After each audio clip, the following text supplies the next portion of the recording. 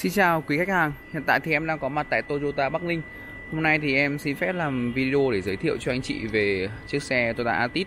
Giá bán cũng như là các cái thông tin về xe ở thời điểm tháng 9 năm 2023 này. Thì uh, nửa đầu tháng 9 là thời điểm uh, vẫn đang ở trong ngâu ờ, và cũng là nửa sau rồi. Nên là anh chị uh, cũng uh, khách hàng cũng bắt đầu dục dịch là đặt xe thời điểm này và cũng uh, lấy xe. Và trước khi đến cái phần giá bán thì em uh, xin cung cấp một cái phần thông tin về ờ, chiếc xe Toyota Altis này. Thì ờ, ờ, cuối tháng 9 hoặc là sang đầu tháng 10 thì bên em sẽ về một bản cập nhật nhỏ của Altis thì các phiên bản đều được nâng cấp như là được nâng cấp thêm cảnh báo điểm mù này rồi cảnh báo thêm các cái hắt kính các thứ. Thì giá xe dự kiến sẽ tăng khoảng 3 đến 40 triệu. Thì hiện tại thì bên em vẫn đang còn phiên bản cũ à, cũng đang nhận phiên bản mới.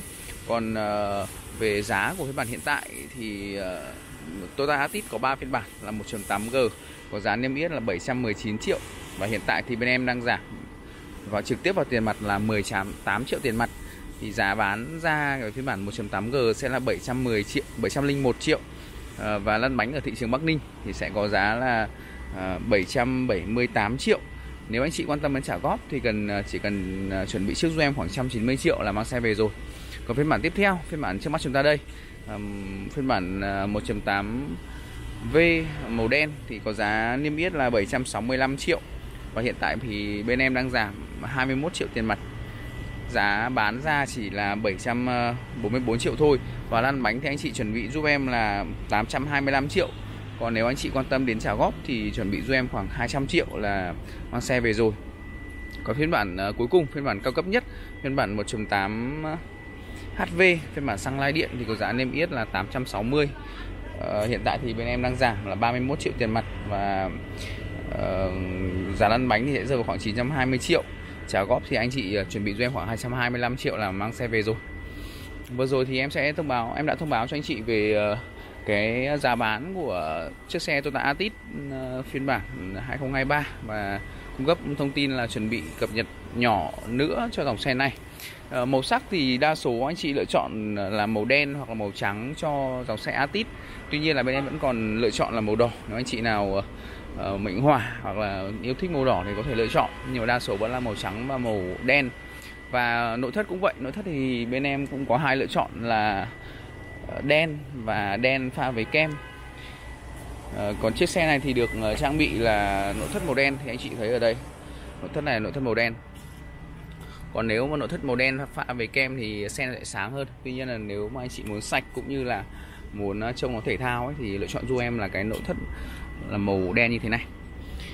Xe atit thì cũng mới được cập nhật ừ, phiên bản mới này vào ở năm 2022 thì có cái form khá giống là Camry cùng đèn rồi như anh chị thấy cái cái logo ở đây là được trang bị là logo dạng 3D có cái chức năng trong cái gói Toyota Safety Sense cảnh báo lệch làn đường, cảnh báo giữ làn đường, cảnh báo tiền va chạm, hỗ trợ phanh cũng như là đèn thích ứng và uh, cái uh, giữ uh, tốc độ khẩn cấp.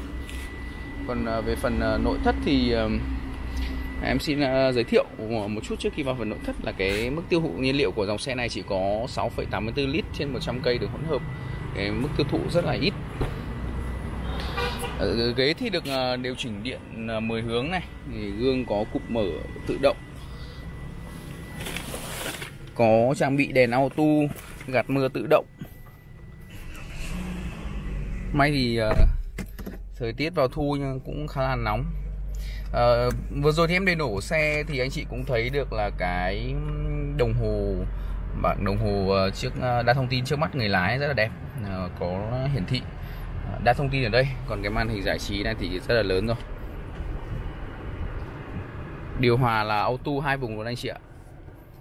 Gạt mưa auto này. Còn đây là các cái phím chức năng trong cái cụm uh, chức năng Toyota Safety Sense còn bên này là điều khiển cái chức năng giải trí của xe. Xe thì cũng được trang bị uh, các chế độ lái như đây. Anh chị thấy là đây là chuyển sang chế độ lái Sport này. Ờ, phanh tay điện tử cũng như auto hold được trang bị trên cả ba phiên bản. Ghế thì ờ, dạng ghế thể thao có đục lỗ rất là thoáng. Một cái điểm mạnh của Altis đời này ờ, mới được cập nhật lên có thể là anh chị chưa nắm được là cái chiếc xe này đã nâng cấp cái treo sau là treo độc lập nên là nó cho cái cảm giác ngồi phía sau cũng như là vận hành rất là êm ái cũng như là ổn định cái treo sau thì nó giống như Camry á à, ờ, có cửa sổ có cửa gió hàng ghế thứ hai này có cả rèm cửa phía sau cho anh chị. Ờ, à, điều chỉnh tay. Vừa rồi thì em đã thông báo cho anh chị về giá bán cũng như là các cái thông tin về xe. Anh chị nào quan tâm sâu hơn về cụ thể các cái ưu đãi về khuyến mãi ờ, tặng kèm những cái phụ kiện gì cũng như là chi tiết về chính sách trả, trả góp thì vui lòng liên hệ giúp em qua số hotline ở trên màn hình. Em xin phép là hẹn anh chị ở những video tiếp theo. Xin chào và hẹn gặp lại.